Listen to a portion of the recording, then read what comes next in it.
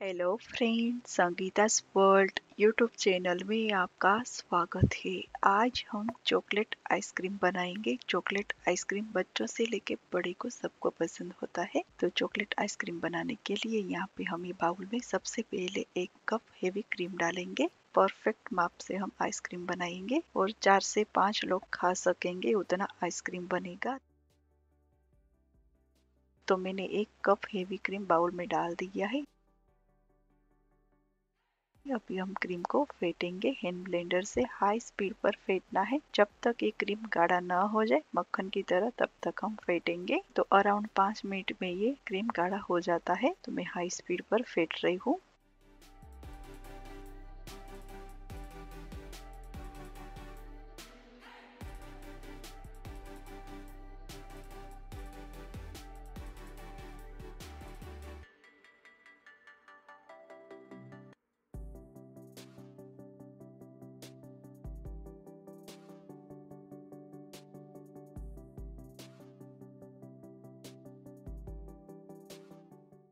तो लीजिए हमारा क्रीम, मक्खन की तरह बन गया है। तो ऊपर से हम हाफ़ टी स्पून जितना वेनिला एसेंस डालेंगे फ्लेवर के लिए।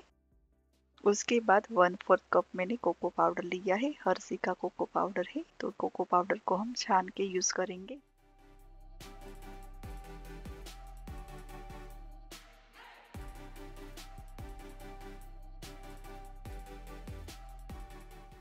तो one fourth cup cocoa powder को हमने छान लिया है और ऊपर से हम कंडेक्स मिल्क डालेंगे। तो एक टीन मैंने कंडेक्स मिल्क लिया है तो पौना टीन जितना मैं डालूँगी मतलब पौना कप जितना मैं कंडेक्स मिल्क डालूँगी, क्योंकि कोको पाउडर डाला है ना तो कंडेक्स मिल्क थोड़ा ज़्यादा डालना पड़ेगा। तो कंडेक्स मिल्क आप अपना हिसाब से एड कर सकते हो, आपको जितना आइसक्रीम मीठा रखना है, उस हिसाब से कंडेक्स मिल्क डालना है।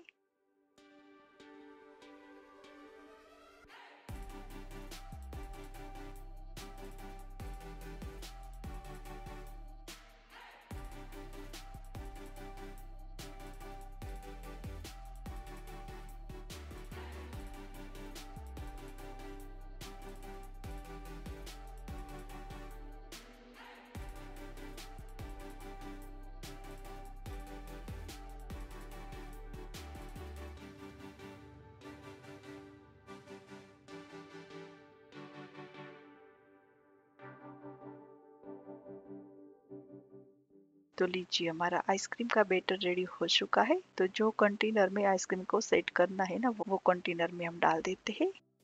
तो यहाँ पे मैंने ये एल्यूमिनियम की फॉइल लिया है। आप चाहे तो प्लास्टिक के डब्बे या कोई भी कंटेनर में डाल सकते हो।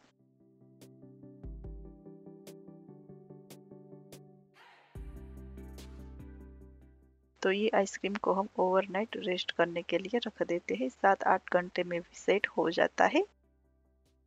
तो हमारा आइसक्रीम अच्छे से सेट हो चुका है। मैंने ओवरनाइट रेस्ट दिया था। तो चलिए हम ये आइसक्रीम को एक बाउल में सर्व कर लेते हैं। तो सर्व करने के लिए यहाँ पे हमने वोफल बाउल लिया है। आप चाहे तो कोई भी स्टील के बाउल में या कोई भी छोटे छोटे बाउल में भी सर्व कर सकते हो। तो यहाँ पे हम ये वोफल बाउल में सर्व करेंगे।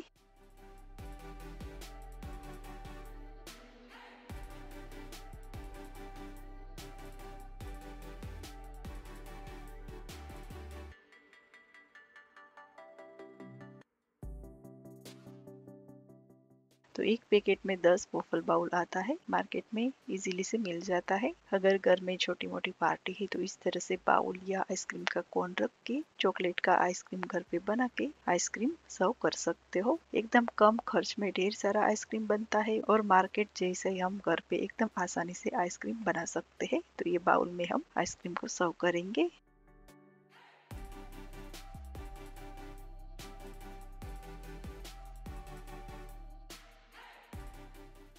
दो स्कूप भर के हम आइसक्रीम बाउल में सर्व करेंगे।